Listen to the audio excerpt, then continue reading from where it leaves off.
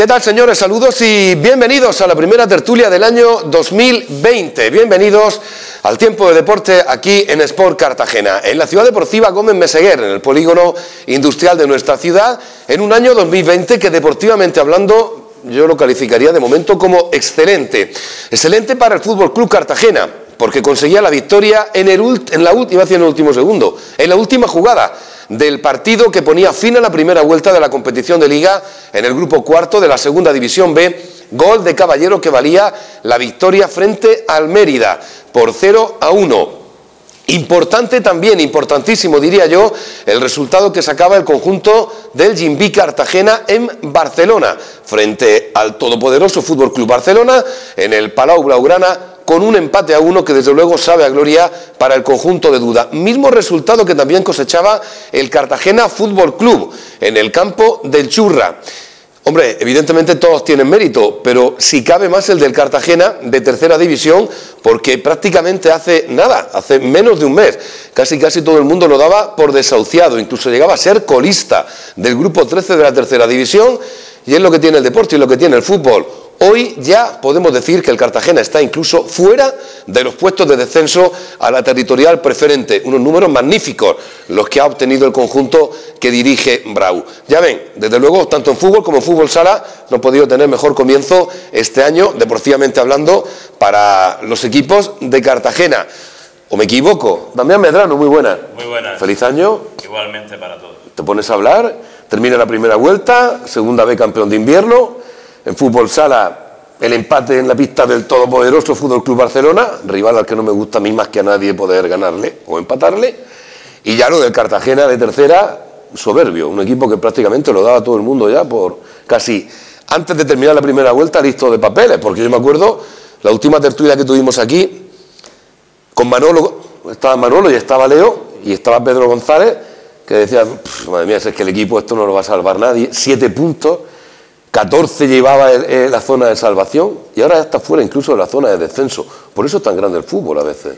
Pues sí, casi milagrosamente, porque yo tengo la suerte de venir eh, todos los domingos a ver al, Cartagena y milagrosamente ha podido salir de ahí gracias, pues bueno, eh, ha habido un cambio de entrenador, eso también puede haber eh, tenido mucho que ver. Eh, no es porque Moreno Boluda es mal entrenador, al revés, es un excelente entrenador, pero bueno, este hombre pues quizás le ha puesto las pilas eh, algo más a los jugadores o se han sentido con él más cómodos. Después también se han hecho fichajes, eh, Nicolás lo sabe mejor que yo, se han hecho fichajes que la verdad es que están dando muy buen resultado porque recuerdo el último partido con el Palmar donde un jugador, el delantero centro, parece que era Yanni, ¿no? Yanni marcó tres goles, un un fichaje nuevo. Mariano, que viene de la Minerva, también es un fichaje bastante bueno. También se ha traído Brau, un jugador que creo que estaba en Italia. Entonces, pues todo eso ha sido un cúmulo de, de, situaciones que han hecho que el Cartagena salga de ahí. Fantástico. El Jimbe, pues un resultado que nadie esperaba, porque la verdad es que últimamente estaba un poquito alicaído el equipo y mira, pues eh, ahí está, empatando en el todopoderoso Barcelona. ¿Y qué vamos a decir del Fútbol Club Cartagena?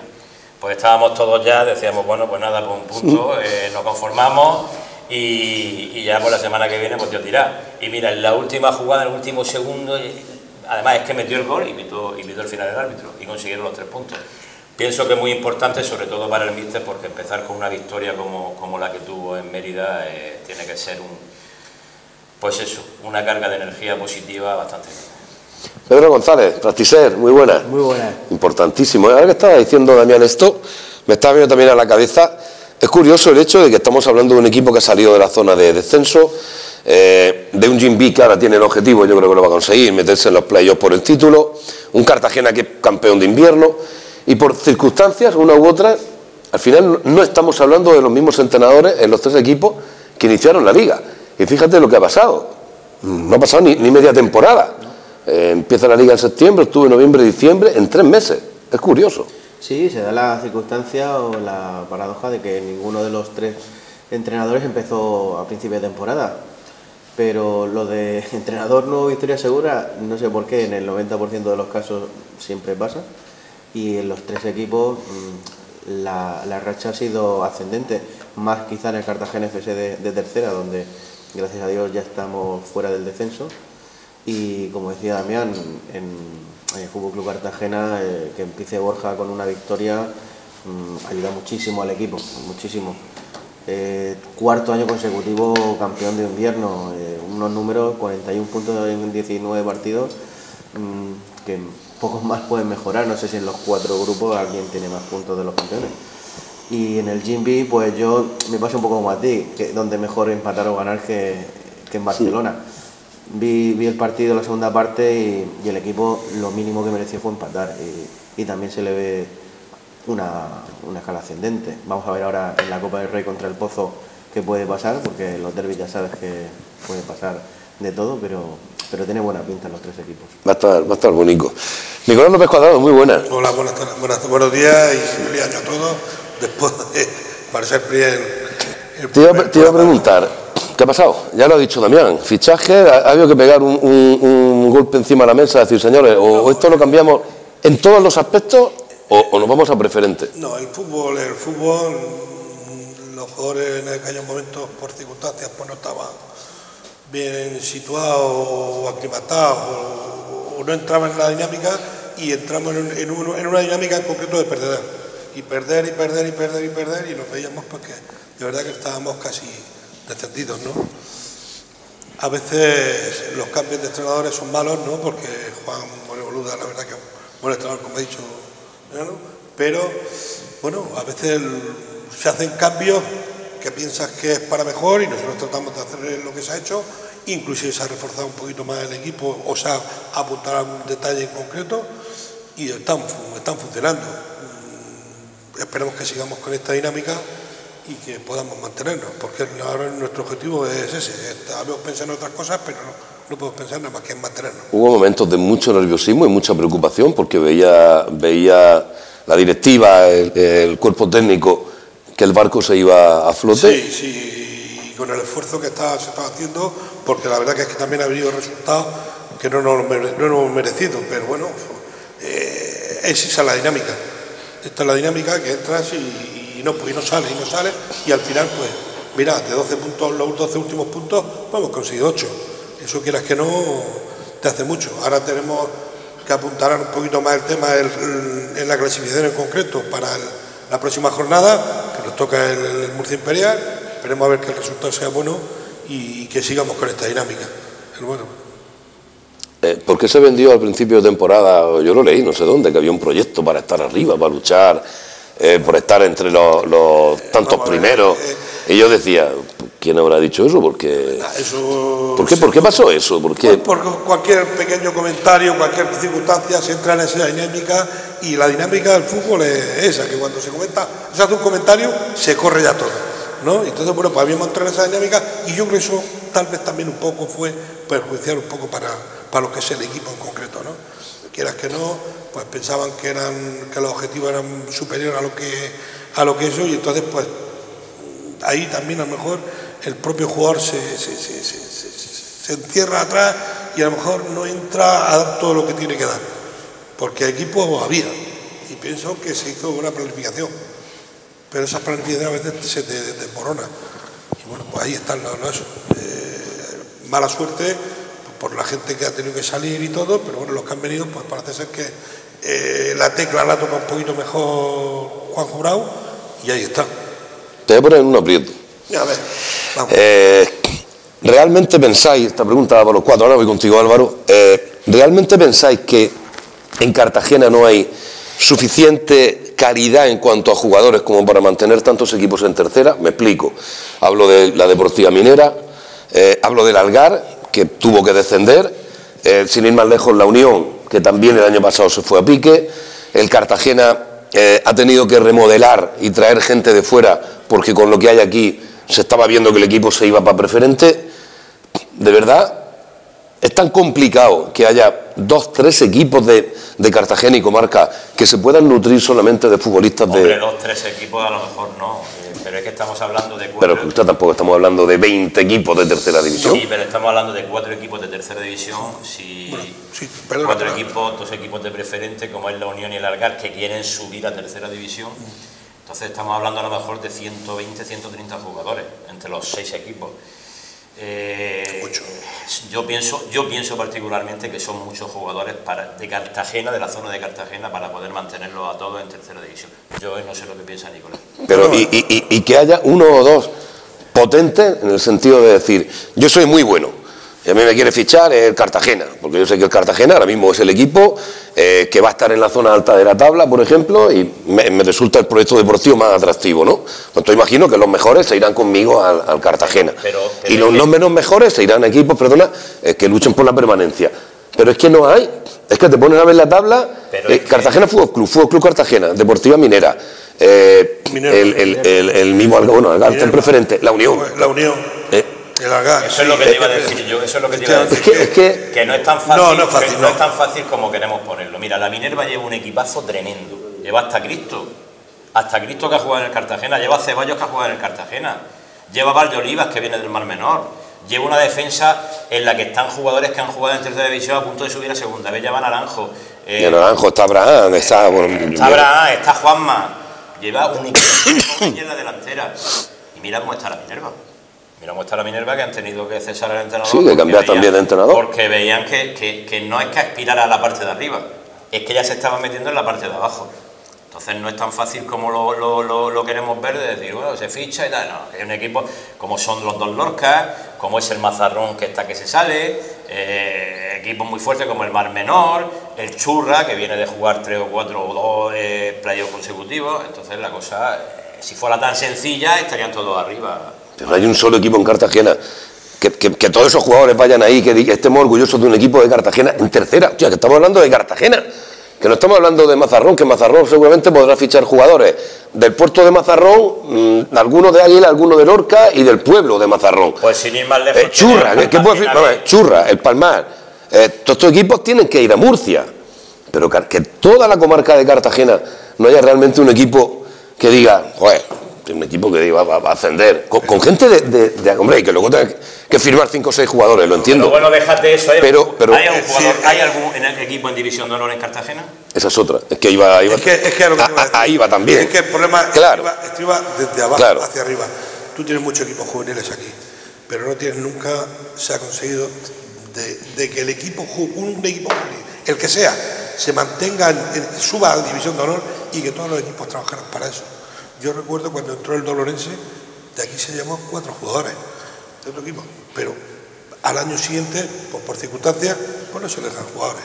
O como nosotros mismos cuando estábamos en División de Honor, pues igual, o otro equipo. Pues como no se le ayuda, los otros equipos lo que tratan siempre de restar. Es el problema de la división un poco del fútbol base en Cartagena. El fútbol base en Cartagena está dividido todo. Cada uno tira para el asco a su sardina y, y es hasta un poquito. Pero alguien tendría que salir y tratar de, de- de conseguir un poco más la unificación, que no se ha conseguido nunca, ni con la AFCT ni con nada. Nicolás no será porque no se ha intentado. Sí, pero no hay manera. No hay manera. ¿Cómo? Por lo que sea. Concejales, presidentes y. Pero bueno, es que yo creo que, que tal vez, no sé, habría que involucrar un poquito más a lo que es la concejalía en concreto y que ella fuera la que dijera, oye, yo ayudo a los fútbol base, pero tenemos que mirar prim- primero los equipos cabeceros son estos. Y de ahí el resto ayudarles. Y al que sea, al que le corresponda, al que tenga la varita que te digan, pues es el, el Cartagena, el fútbol Club Cartagena, en juveniles. Y trabajar todo, ¿por qué no sería eso? Sería lo ideal. Ahora, ¿el problema cuál es? Que es que te llevas, o, o- o nos llevamos, vamos, vamos a meternos, pues yo me, me voy a meter también, me voy a mojar un poquito en el tema, ¿eh? y nos llevan muchas veces también engañando a los críos. Y eso no, está, eso no, está- no es, no es correcto. Y yo creo que nosotros llevamos una, una norma de muchos años que son esas, y, los- y los equipos nuestros nos los desmantelan todos los años. Yo creo que, sea, yo creo que sabes dónde está el problema. Entonces ahí está. Hay que conseguir que alguien, ¿eh? o sea, hay que conseguir no, que saliera alguna persona o algún que de tal manera consiguiera unificar eso. Y a partir de ahí entonces entraría ya con el resto de los equipos.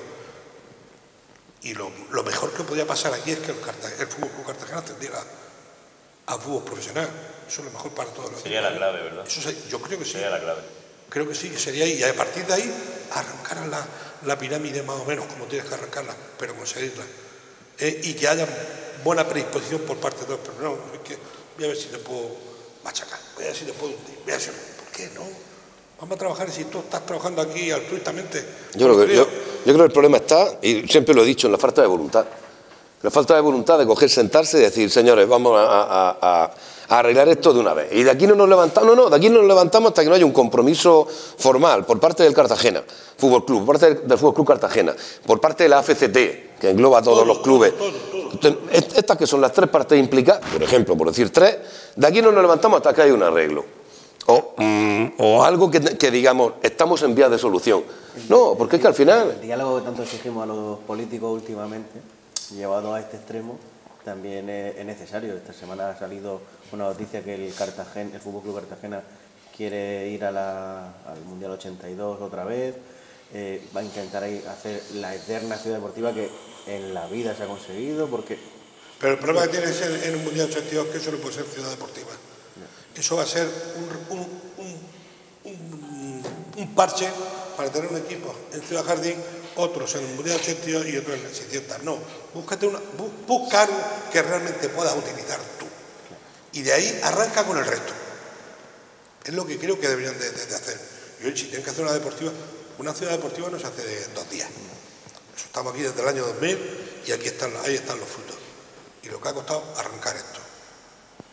Y oye, yo creo que- que en el buen sentido de la palabra, esto es envidiable, lo que hay aquí, que hay que mejorarlo, que hay que mantenerlo. Una pregunta un poco enrevesada, Dime. Nicolás. Espera, espérame, que quiero escuchar la voz de Álvaro. Álvaro, muy buena. Que escucha, que esto es una tertulia, que no hace falta que yo te pregunte. Aquí no puedes molestar. No, no, que puedes entrar cuando quieras. Bueno, pues la opinión del senador es que la concejalía tiene que involucrarse en todo el tema del deporte, no solo el fútbol base, sino también los deportes en general. ¿no? Yo creo que el mayor error que ha tenido, en cierta manera, el ayuntamiento es no fomentar, que creo que hay que fomentar más el deporte. Da igual si es fútbol base, si es división eh, de honor, por ejemplo, o, o ya el Cartagena, el Fútbol Club Cartagena, ¿no? Yo creo que la, la concejalía del ayuntamiento tiene que involucrarse eh, en varios aspectos deportivos. Pero tiene que Creo haber que funcionaría bien. Pero siempre y cuando haya voluntad por parte de los protagonistas, creo yo, porque es lo que decía. Dime, Damián, te he interrumpido. hacer una pregunta un tanto enrevesada a Nicolás. ¿Cómo están las relaciones Fútbol Club Cartagena, Cartagena Fútbol Club ahora mismo? Totalmente no rota, sino que no hay, no hay conexión ninguna. No hay, com- no hay comunicación entre los dos clubes. Y, y te puedo decir que la predisposición por parte nuestra, en su día, cosa de tres años, cuatro, cuando hubo el problema de que se jugó el, el- el descenso en Las Palmas, nosotros le ofrecimos aquí todo lo que teníamos. Y esto fue en la federación, delante de monje, de monje y delante de varias personas más. Y no te puedo decir más nada. Nosotros estamos aquí. Cuando quieran algo Desde nuestro. entonces- desde entonces ¿verdad? no ha habido- Nada, nada. Eh, por aquí vino Isidoro, hablamos de unos otros, otros temas, ¿no? Y, y nada más. No ha habido, no ha habido intento de acercamiento. No ha habido de- nada. Nosotros estamos aquí siempre abiertos a, a lo que haga falta. Estáis abiertos y seguís con predisposición Igual. de escuchar a quien sea. Pero por, por- por escuchar y que nos escuchen también. Eh, Aquí, eh, cuando quieras eh, conseguir algo, no es solamente, no, yo te propongo, también te tengo que proponer. Es lo único, nada más. Hombre, Esto es como todo. ¿eh? ellos a lo mejor dicen lo mismo. No hay, no hay comunicación porque no nos han llevado. Nosotros estamos aquí y al final. Tú estás aquí, yo estoy aquí Pero y como vamos, estamos los vamos, dos y vamos, ninguno nos hablamos. mira, te- esto- No, no, no, esto no. es una pequeñita. Lo que nos hubiera gustado que por lo menos Paco del Monte, señor Sánchez Brey, Isidoro, se hubieran hecho socios de aquí por 50 euros. Nada más. Nosotros sí somos socios del Cartagena. ¿Por qué no? A lo mejor es, una, mi- es un, es un paso de venir Sí, es un granito de arena. ¿Eh? O sea, son cositas que te, que te faltan. Hijo, respetamos, ¿eh? Y nos gustaría que el Cartagena, digo, me gustaría que estuviera en el fútbol profesional. Pero no que subiera, no que se mantuviera todos los años que pudiera. Eso sería muy bueno para el fútbol base de Cartagena, ¿eh? Y es lo que es. Ahí está. Bueno, pues ahí queda, ahí queda el guante y ahí queda lo que acaba de decir Nicolás y, y a lo mejor depende de una tercera persona que sea la que lo siente a los dos. el mediador, el famoso mediador. Correcto, sí, el mediador que pedía Pedro Sánchez. Pero aquí, que aquí no hay mediador ninguno.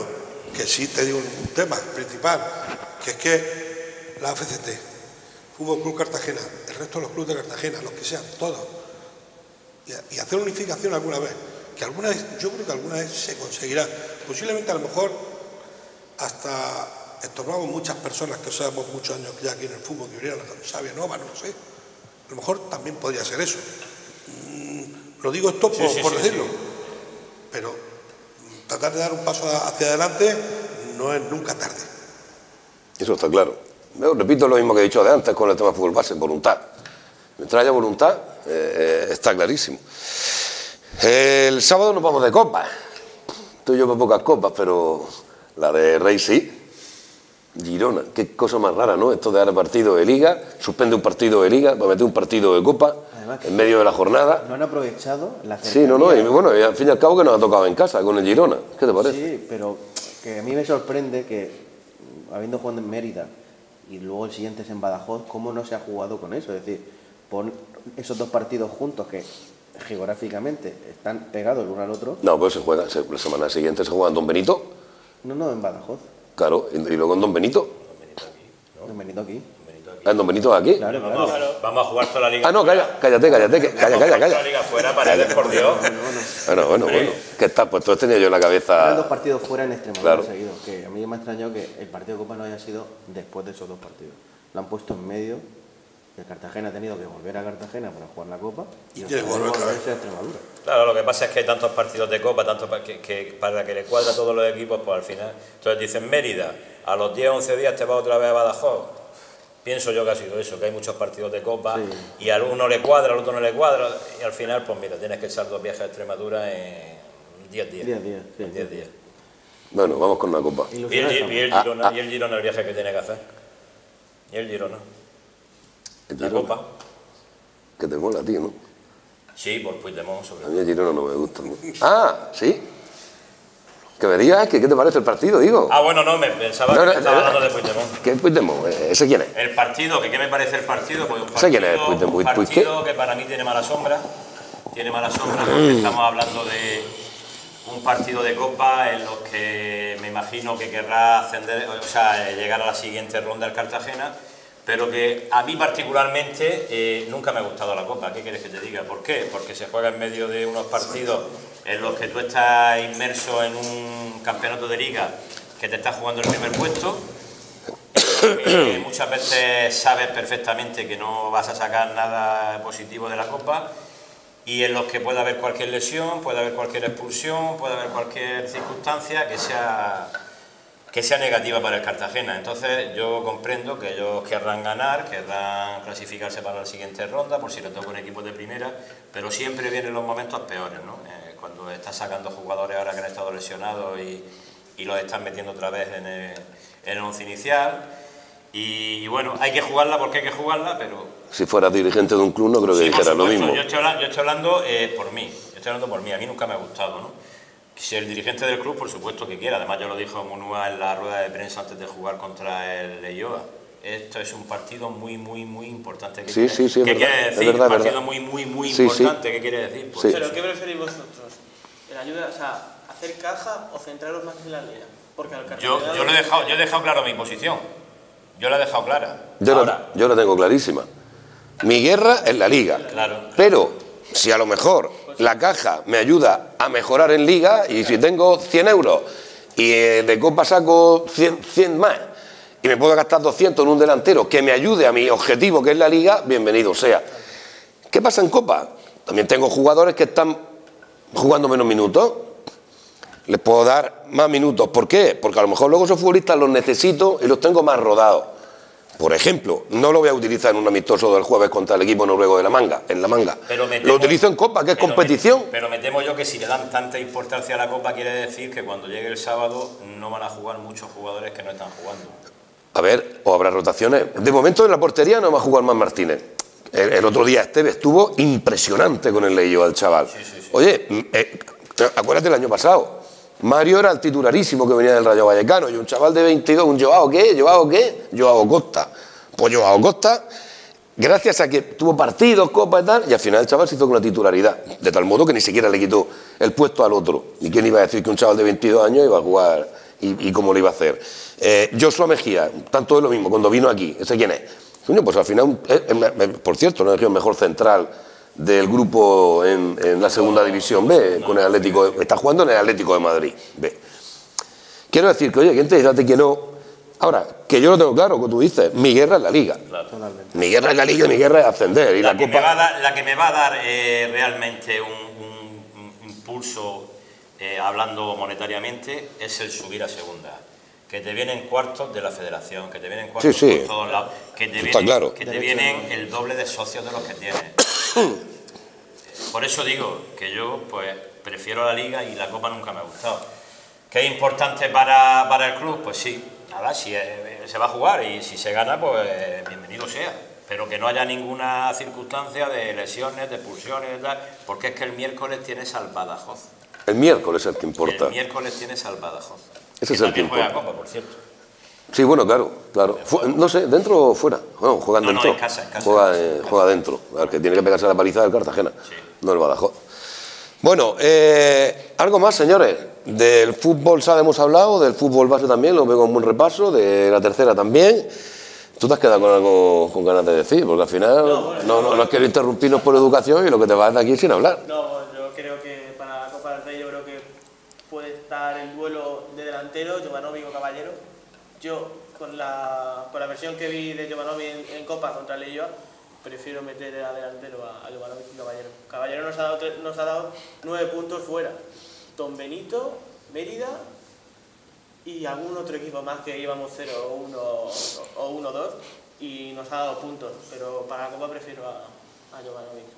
A, Oye, lo mejor, a lo mejor sería mejor Caballero y dejar a Giovanni para, Para Badajoz. para Badajoz. así que- eh, ¿os preocupa, otro tema, ¿os preocupa la inactividad en el aspecto ficheril? Sí. De momento. Pero, pero en general. No, es del Cartagena. Sí, no, no, pero es que, es que es en general. O sea, es que no se mueve absolutamente nada del mercado. El único en Marbella que ha firmado a, Sí, ha firmado Juan Mi Callejón. a- sí, a Callejón, Sí, pero pero no se mueve nada del mercado. En la presentación de, de Borja dijo Paco Belmonte que sí o sí dio a entender que en el lateral derecho iba a traer algo. Pero me dice que Vamos no a ver, vamos a ver. es que yo creo que esto, 10 esto es como las fichas del dominó, Hay Damián. 16 fichas senior. Ahora mismo hay que... Eso tendrás que rellenarlo sí o sí. Pero, ¿tú sabes qué pasa?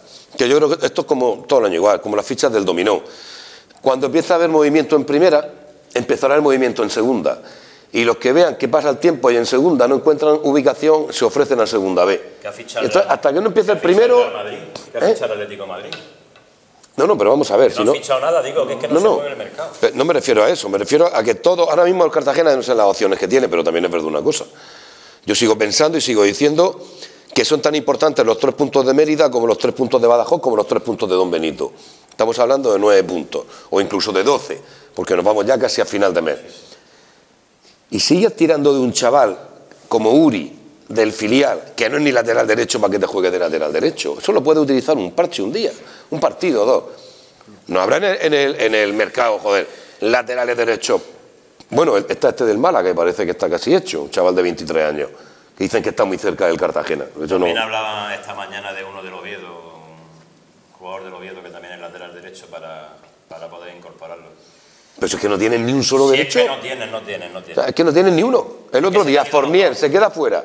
Es que no, no tienen ni, ni derecho ni zurdo. O sea, se tuvo que inventar, Óscar, el, el- le digo Óscar, perdón, Borja, se tuvo que inventar los dos laterales. Vale, te, lo- te lo- te permito pulpo como animal de compañía, en un partido. Al final te salió bien porque ganaste. Pero, tío, pero es que te viene la copa, es que luego te vas a Badajoz, es que luego tienes liga, es que luego tienes liga, es que... Y, y no sé, a mí sí me preocupa, sinceramente. Me preocupa, porque si dijera... Los dos laterales derechos que tenías para hacer esa función, Markel eh, tiene para toda la temporada de Fuchile se ha ido.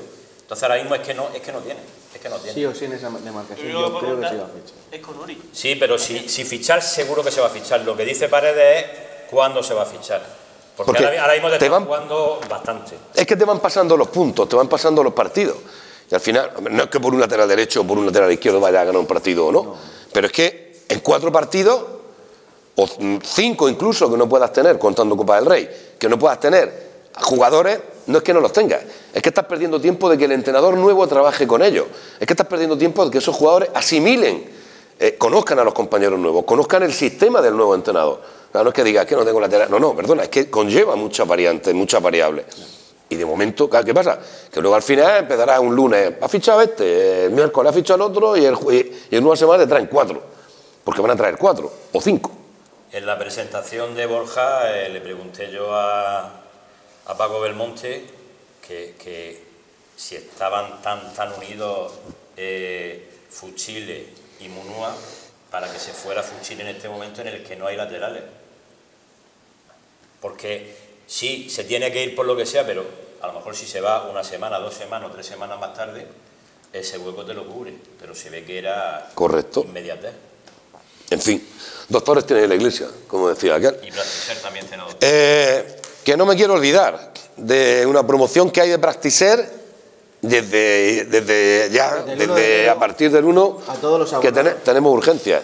Sí, eh, con, con el cambio de propiedad, una de las de los cambios que ha pasado en Practicer es que desde el pasado 1 de enero las urgencias, el, servicio nocturno que llamamos desde las 11 de la noche hasta las 7 de la mañana, todos los abonados de Practicer la tienen ya en el Centro Médico Virgen de la Caridad. Tanto a nivel de domicilio, pueden seguir llamando a Practicer, se deriva la llamada Virgen de la Caridad y si tienen que acudir eh, personalmente y físicamente, acuden al, al hospital en ese horario desde las 11 a las 7, con los mismos descuentos, sin incrementarle su cuota mensual y además con una serie de ventajas que eh, por ser abonado de Practicer van a tener en Virgen de la Caridad. Si necesitaran hospitalización con un precio especial, si necesitaran ir a especialistas, hay una cantidad de especialistas, eh, angiología, cirugía cardiovascular, eh, medicina estética, neurofisiología, oncología, sexología, una cantidad de especialistas que serían con descuento, pero es que encima hay otras especialidades que son gratuitas, son seis, cirugía de mama, medicina interna, neurología, oftalmología, otorrinolaringología y reumatología.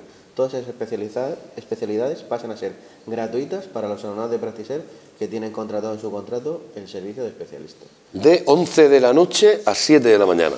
De 11 de la noche a 7 de la mañana, el servicio de urgencias Eh, en Virgen de la el Centro Médico Virgen de la Caridad. aparte descuentos en hospitalización, descuentos Claro. de especialistas y consultas gratuitas de ciertas especialidades. Estos cada vez innovando y mejorando. Con razón le dan tantos premios. El otro día, ¿no lo viste? Qué guapo estaba el otro día tío recogiendo el premio. ese que, claro, normal. Bueno, Pedro, que lo dicho, que este 2020 no ha ido mal el 19, pues que venga mejor. Y si viene con un ascenso bajo el brazo, no dicen eso de los hijos, pues a ver si este año venimos con un ascenso bajo el brazo también, que ya nos toca, hijo, ya nos toca. Ya, lo necesitamos ya. Ya nos toca. Álvaro, muchas gracias. Señores, muchas gracias y lo dicho, 7 de la tarde, el próximo sábado, vuelve la Copa del Rey al Estadio Municipal Cartagonova. Nos cargamos a un equipo vasco, ahora nos vamos a cargar a uno catalán. Joder, si fuera uno que conozco yo que es más independentista, o sea, pero nacionalista de España, quiero, que no puede haber ninguno de los de arriba. Pues eso, a las 7 de la tarde, el Girona, en el Estadio Municipal Cartagonova. Que tengan una feliz semana.